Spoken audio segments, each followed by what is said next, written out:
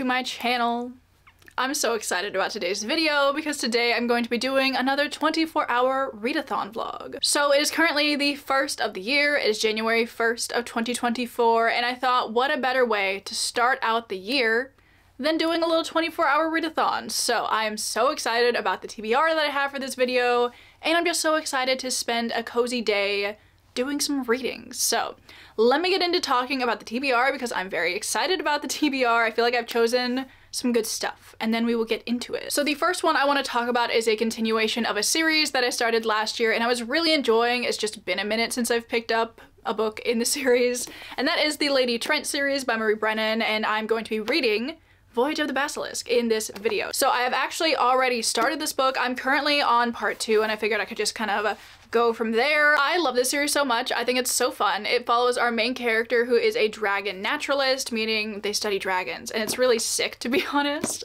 Like I love the more scientific approach to having dragons in a fantasy book and I also love books with characters that are naturalists. And even though this is a high fantasy book and it's not set on Earth, it still has that Regency kind of vibe to it, which I also love so much. It's very like historical fantasy which I love. Like I just said, I made it to part two, and there's like a little description of part two, and it says, Part two, in which we encounter a wide variety of dragons and an even wider variety of problems. And I'm so excited, so I'm definitely going to be finishing this up today, and I cannot wait. Then I do have a couple of novellas on this TBR that I've been really excited to get to. The first one being something that's a little bit different for me, because I think this is kind of like cozy sci-fi maybe is kind of how I've heard it described. Here is just a really delightful read which I've been very intrigued by, and that is A Psalm for the Wild-Built by Becky Chambers. I decided to pick this up from the library because I've been seeing a couple of people talking about it recently and I've been meaning to get to it, so I figured a 24-hour readathon would be a perfect time to finally pick this up and see what I think about it. I believe this is set in like the distant future, maybe on Earth, where like artificial intelligence has basically deserted Earth. Like they've had enough, which honestly fair. And it's described as an optimistic vision of a lush, beautiful world, which sounds very different from like the typical, you know, dystopian future set kind of novels. You know what I'm saying? So I'm really excited about this. I know a lot of people really love this, so I cannot wait to see what I think of it. And then the other novella that I'm going to be reading I'm so excited about because I am going to be picking up Dawnshard by Brandon Sanderson. This is a novella in the Stormlight Archive. This comes between the third and the fourth book. I believe this is following one of the POVs that we were introduced to in the interludes in Oathbringer. So it's not following like the main characters from Stormlight, but before each different part of the book you get a couple of interludes that kind of take a break from the main narrative and follow like different random people essentially. And I think I really was enjoying this person's point of view. I think it was also a little bit longer than the other points of view that we were getting so I'm excited to hear some more from them. And obviously I'm really excited about continuing Stormlight now that I've finally gotten myself to pick up and read Oathbringer. So that means the last book on this TBR I'm certainly not going to be finishing because I also want to start Rhythm of War by Brandon Sanderson. This is the fourth book in the Stormlight Archive. I'm going to be holding myself accountable and actually picking this book up when I said I was going to. Because last year, after I read Words of Radiance in December, I was like, oh, I'm totally gonna pick up Oathbringer in January and just like jump right into it. It'll be so easy that way. Absolutely did not do that. But I'm thinking starting this in this 24 hour readathon because I should definitely be able to finish these three is a good way to get me to start this book and like actually read it in January. Because if you don't know, the fifth book in the Stormlight Archive comes out at the end of this year, which I'm so excited about. It comes out like early December maybe, and I really want to read that book when it comes out. So obviously, I need to read Rhythm of War ASAP. So that's what I'm going to be doing in this vlog. I'm going to be starting it at least. And I feel like I've kind of cracked the code on reading Stormlight books to be honest. Because obviously I love these floppy paperbacks. They're stunning. Beautiful. Actually, the person that sent me this book, where'd the thingy go? Yes, Porcupine says, Hi Katie, I hope you enjoy this extraordinarily floppy book. We all know I love the extraordinarily floppy books. But the thing is, I think reading a book this long is just really intimidating. And I feel like every time I look down at the page count, I'm like one page further than where I was the last time that I looked. And it's just like, I just do that too often. So when I was reading Oathbringer, I picked up the ebook and I started reading it on my Kindle and I loved that. I was switching back and forth between the physical copy and the ebook just kind of depending on what I was feeling like reading at a given point in time. And I do really like how light this is because I love the floppy paperbacks, but they are, it's like 1200 pages, so it's very heavy. So it's nice to have this when I don't want to hold something so heavy. I feel like I would definitely be able to achieve all of my reading plans of reading these three books and starting Rhythm of War, which I'm so excited about. So there we go. That's the TBR. Looks a little ridiculous, but really it's not. So now that we have gone through the TBR, let's talk specifics. It is currently 8.50 and I think I'm gonna start the readathon at 9 a.m. maybe?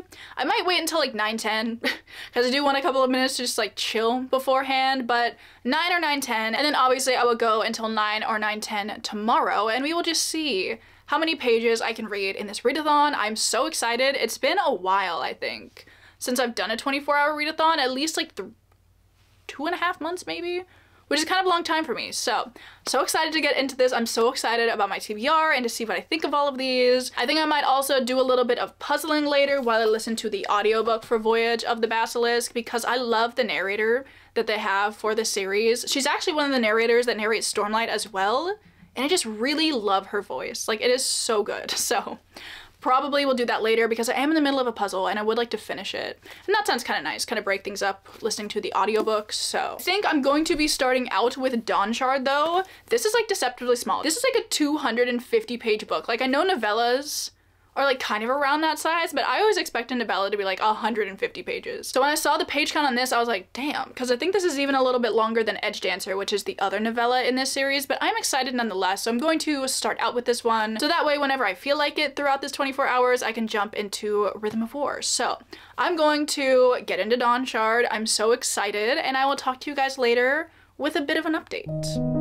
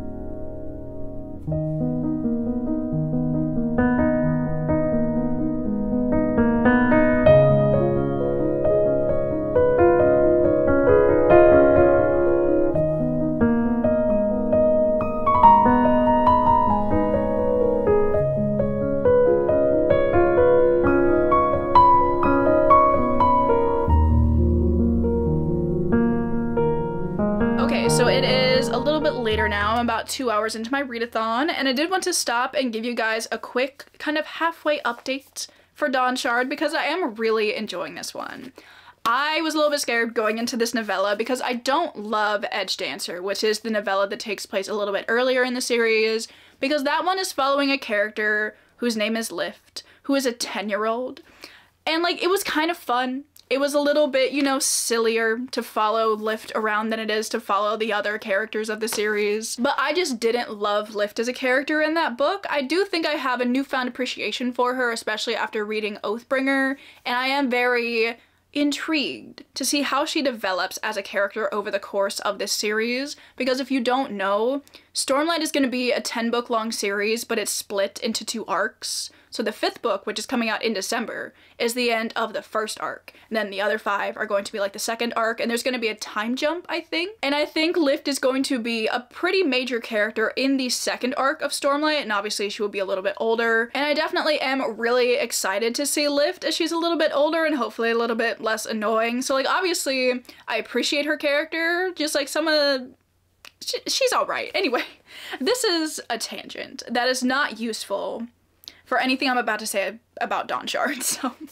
I am currently on page 134, so I'm about halfway through it, and I'm just really liking it. The character that we're following in this one, whose name is Rysn, I believe. And I'm really enjoying the extended point of view that we are getting from somebody who is obviously not a main character of the series, because for the most part, all of the characters that we really follow are Alethi. So just getting anything else is always nice. And I do appreciate the interludes in like the actual Stormlight books, but for the most part when I get to them, I'm like, I just want to like get back into the story. But when we get them in like the dedicated novellas, I do really enjoy like what that adds to the story. And I really liked Edge Dancer for like the setting because we got to see just something a little bit different. And with this one, we're mainly set on the sea because in Rysn's point of view in Oathbringer, we saw her inherit a ship essentially. And in Dawnshard, we are seeing her take that ship and her crew to this city.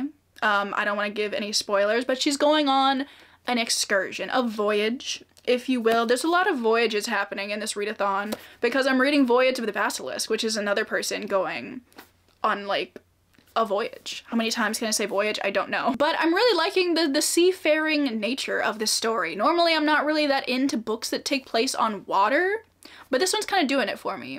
And so is Voyage of the Basilisk. So I'm like maybe, maybe I'm just wrong about the fact that I don't like books that take place on water. I don't know. So I'm very excited to see where this is going to go. Another thing I want to mention is that this also kind of has a couple of chapters that are from Lopen's point of view. And Lopin is a member of Bridge 4. And that man is so annoying. Like he is he's so funny and I really enjoy reading his chapters, but I know if I met this man in real life, I'd be over it so quickly. But obviously in the main series, we get to see interactions with him and like the main characters that we're following. But in this one, he's kind of like on his own with a couple of other people on this ship. And it's just kind of like, it's just so entertaining. So I'm really enjoying what he's adding to the story because we're getting this new perspective in Rysn, but we're also getting this kind of perspective that we know from Lopen and kind of the combination of that is really nice. I'm really liking it. And also in this book, I feel like we're kind of learning a little bit more about some scientific advancements that the Alethi are making.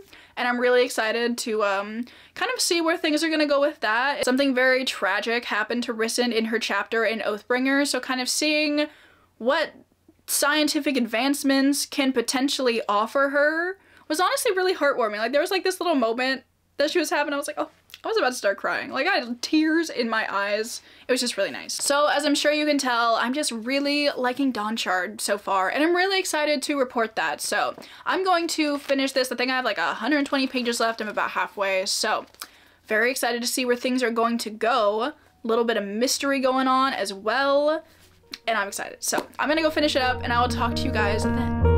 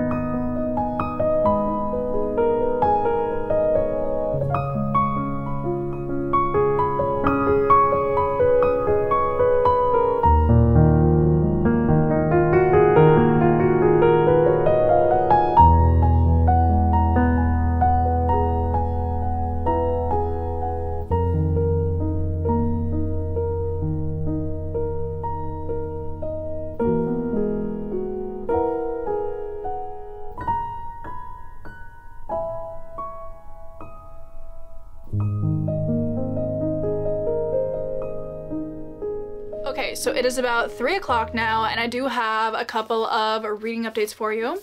The first one being that I finished Dawn Shard and I actually really ended up enjoying this one. Like, I wasn't expecting to dislike it, but I wasn't expecting to really feel that much about it, but I thought it was really good and it was so much better than Edge Dancer. I'm very intrigued to see how the information that was kind of revealed in this book plays into the main books in the series because some things happened and I just don't fully understand how they're going to play into like the main conflict of Stormlight but I'm really excited to kind of figure that out as I get into Rhythm of War and like the other books in the series. I also really appreciated what this did for a couple of side characters that we've already been seeing in Stormlight so far but we don't really know a ton about them because Lopen is like the main kind of side point of view that you get in this book and I think he's so funny like he is just the perfect amount of comic relief for the story and it just works really well but this novella really provides like some more insight into who they are as people and it just allows you to get to know them a little bit better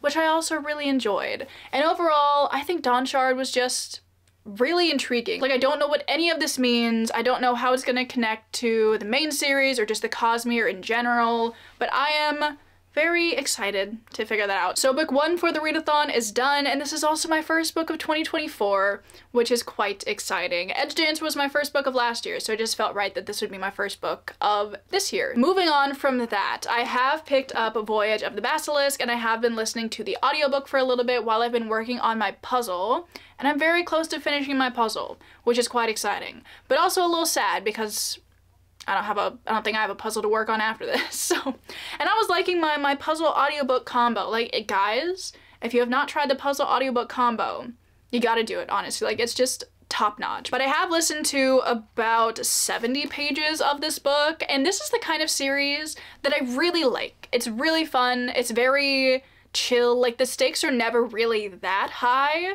and it's just a really nice read. If you liked Emily Wilde's Encyclopedia of Faeries, I would highly recommend you pick the series up because it's basically like same concept like person studying magical thing except this time it's dragons and it is so sick. I love the scientific nature to these stories and the way it is so well fleshed out. It makes it feel so real, honestly. And there are also illustrations throughout the book as well. Like I gotta, I gotta show you this one because I've been listening to this on audio, but I do go back and look at the pictures, obviously. And this one I'm about to show you, I just was not ready for. I mean, just look at this. I was like, what the hell is a dragon turtle? But also, tell me more. I do kind of feel a disconnect with our main character, Isabella. Like, I don't love her as much as I love some of my other historical fantasy naturalist girlies, you know? Like, she's no Emily Wilde. She is no Veronica Speedwell. You know, like, I love them. I just don't really feel that connection with Isabella, but I do still really appreciate her as a character and, like, how strong she is as a person. Because she has been going through it, honestly, throughout this series, but she is still, like, dead set on continuing her passion in life, which is studying dragons, and I love it so much when characters are just, like, passionate about their studies. It's so fun. But also because this series does have like a uh, maybe it's more Victorian. I can't exactly place the historical time period it's trying to mimic. I don't know enough to make that like assumption but because the series does take place in a time where there are these very rigid social constructs placed upon women you see kind of the backlash that she faces for being a woman in STEM basically and it sucks. It's awful. I like that that's put in here, but I also kind of feel a disconnect from those things that are happening because the story is told in a way where it is Isabella telling you this story like much later in her life. Like in this book, I think she's almost 30, but I get the feeling that she's much older as she is like recounting the things that have happened to her. And I like that in some aspects, but I do feel just a general disconnect to the things that are happening. Like I really like this series a lot, but I just don't love it as much as I feel like I could. It's just interesting and a little disappointing, but I still really love it. I just feel like the series has so much potential that it could be reaching but it doesn't quite. But again, if you really like Emily Wilde's Encyclopedia of Faeries, I think you will like the scientific aspect to this series, which I also love so much. So I'm going to continue to listen to the audiobook for this and continue to finish up my puzzle, which I'm very excited about. My snowman is almost done. I'm also gonna be snacking on my last package of Christmas candy. Very sad times, I know, but the Very Cherry Jelly Beans, top tier jelly beans, honestly. So I'm going to finish up my puzzle. My snowman is almost done. After that, I don't know what I'm gonna do because I think I'm gonna have like a decent amount of this left. So I'll probably just pick it up physically. I think my general plan for today is to spend the rest of my time after I finish this reading Rhythm of War and then tomorrow in like the small bit of time that I have in the morning, I will pick up a Psalm for the Wild-Built. So those are the general plans for the readathon. But for now, I'm gonna go finish my audiobook.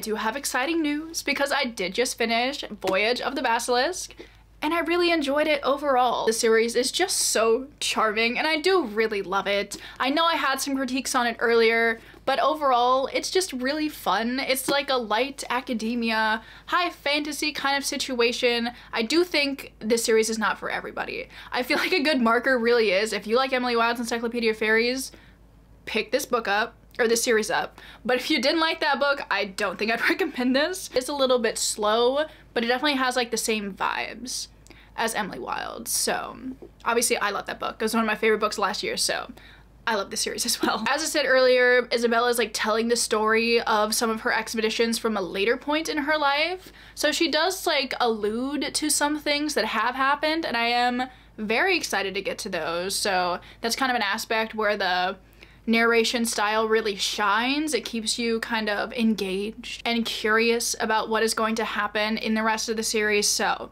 definitely we'll be picking up the fourth one very soon. What's it called? Um, In the Labyrinth of Drakes, I think. I'm really excited about it. And one of my goals for this year is to finish this series. So really excited that I started out with this one, second book of 2024. And this is actually on my 2024 TBR. So can we all get a round of applause for me for already being one book in on my TBR for the year? I'm going to assume you clapped, so thank you. So just really fun, very adventurous, and I love the adventurous vibe of this story because you're following Isabella as she's going on all of these different expeditions to like research dragons essentially, and that does lead to her getting in some predicaments with the people of like the places that she is visiting, which are always very entertaining and you get to kind of see her learn about a new culture and it's just really well written in my opinion. So there's that. I think I'm like 500 pages in now on my readathon because Dawnshard is like 250 pages and I think I've read about 270 pages of this book maybe. So I'm very pleased with that, but it is time to jump into my next book. Obviously, I'm very excited about it because I'm going to be picking up Rhythm of War. So I am so excited. Winnie is excited too. I think you can see her little paw back here. Oh, you're so cute. I wish you could see her. She's so cute. And this is actually another book that is on my TBR for the year. So I'm already so proud of myself. Like I really just want there to be one year where I actually read every book on my TBR. And I don't know if that's gonna be this year, but I'm certainly going to do my best. So I'm getting started early. Already read one of them. It's time to read another one. So I'm gonna hop into Rhythm of War and I will probably give you guys an update in a little bit.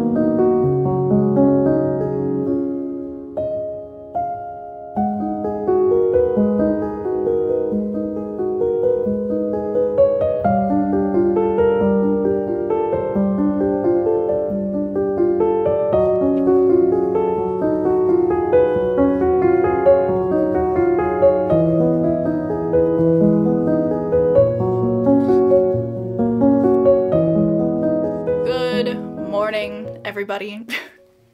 so it is currently 8.30. I have 40 minutes of my readathon left.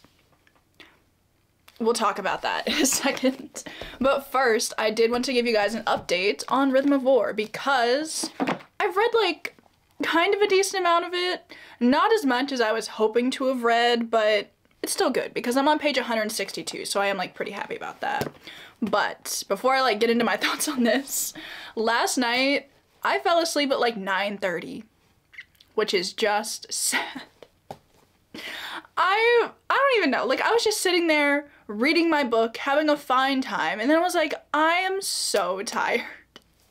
So I laid down and I don't know what I was expecting to happen, but next thing I knew, it was like two in the morning. So a little bit of a fail. I was really hoping to read more of Stormlight last night so I could read all of this this morning before my readathon ended, but that has not happened. I've been up since 7 and I've just been reading some more of Rhythm of War, so I thought I could give you my update on this first.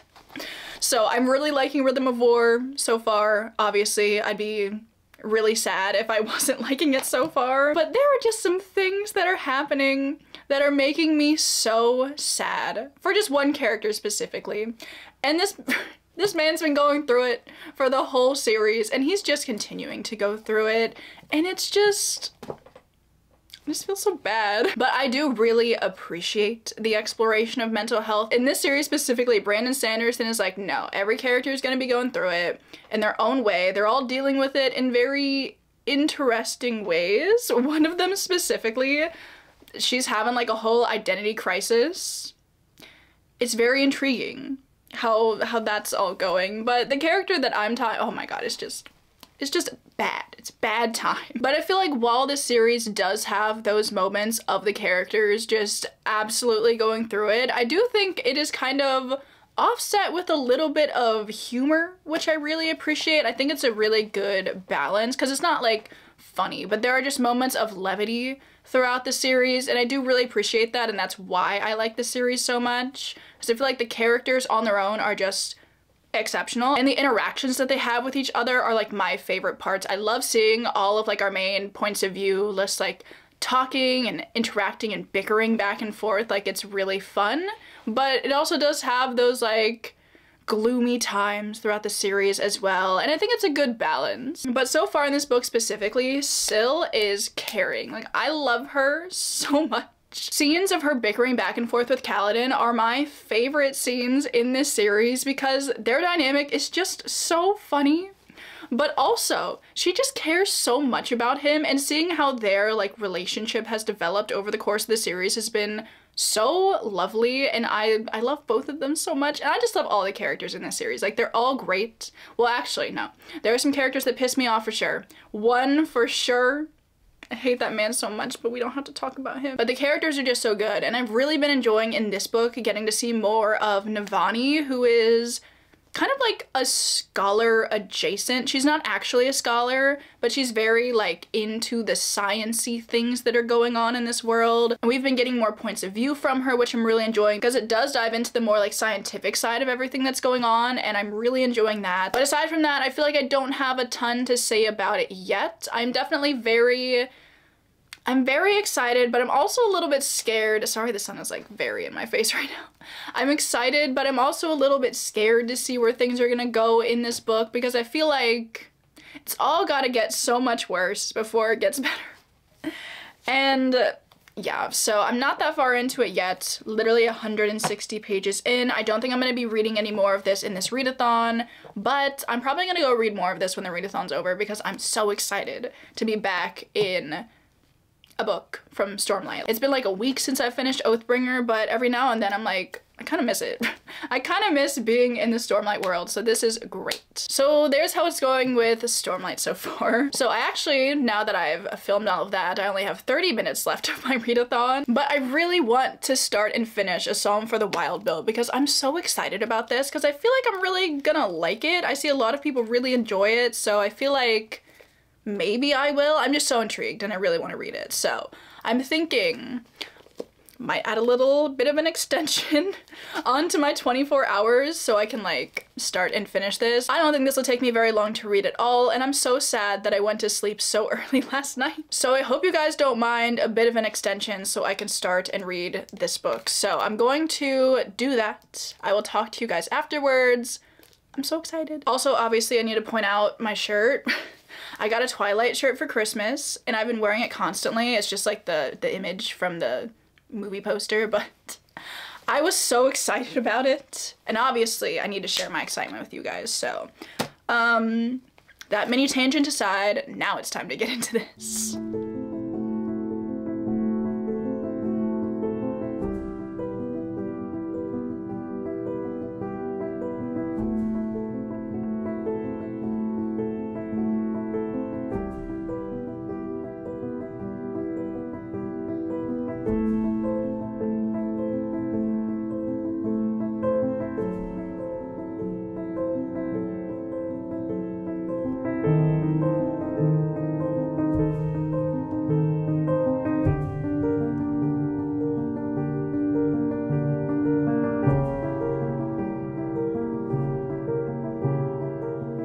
Okay, so it is a little bit later. I finished this book like an hour ago, but it's like noon now.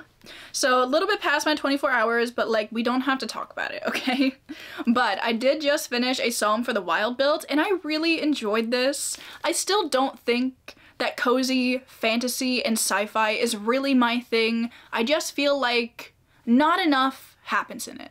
And like that's the point of like the cozy fantasy sci-fi, but I always just want there to be like a little something more to it that even this book didn't have. But I feel like the sentiment of this book and the characters that we're following really do make up for that lack of just something. I don't even know. But I really do love and appreciate the overall sentiment of this book because you're following a character who they have like an average life. It's not terrible, it's not like amazing. But in the beginning of the book, our main character Dex has like a job in the city and they want to leave. Like they've had enough. They're just feeling really tired all the time and they just want a change. So they decide to leave that job and kind of go become a traveling tea monk which honestly sounds lovely because basically a traveling tea monk goes from town to town and listens to other people's problems and serves them tea in return basically, which obviously is delightful. And in the beginning, Dex is really enjoying that and kind of getting something out of it, but as time wears on, they're kind of running into the same issue that they were in the city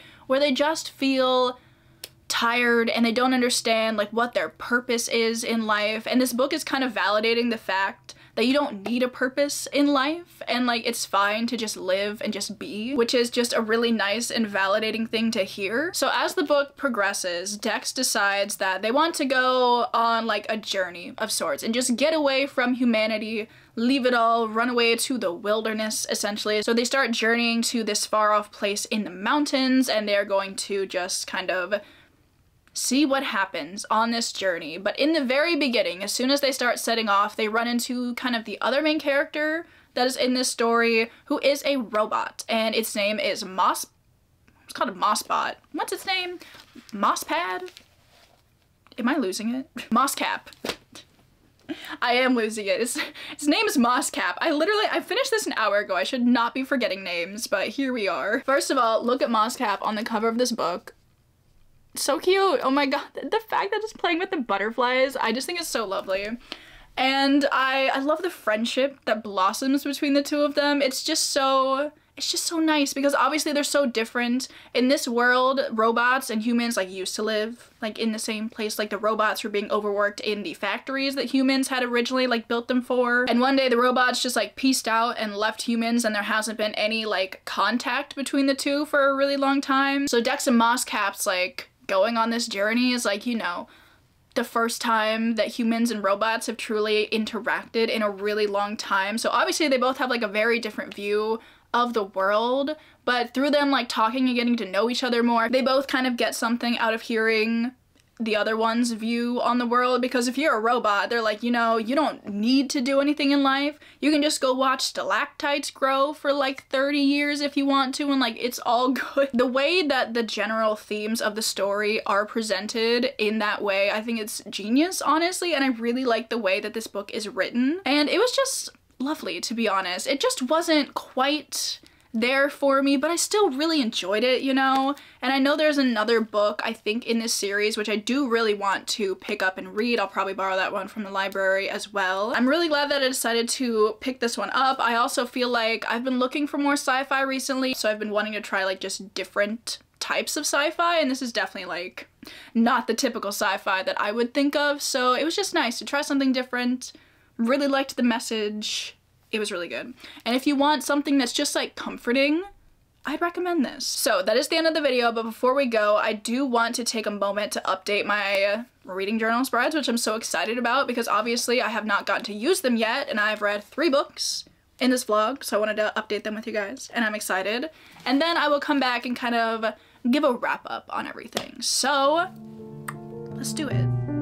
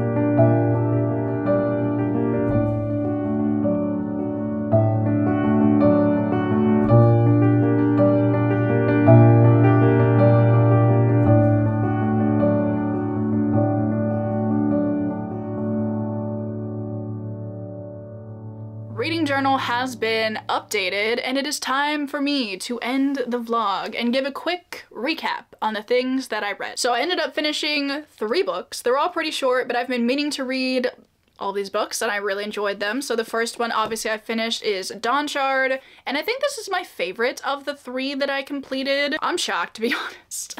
I just didn't think I would really enjoy a novella in the Stormlight series that much, but it was good. I really liked it. Then I also finished A Voyage of the Basilisk. Again, I really love this series. It's so fun. And obviously I just finished A Psalm for the Wild-Built. And I also read 160 pages of Rhythm of War, which honestly might be my biggest accomplishment for the vlog.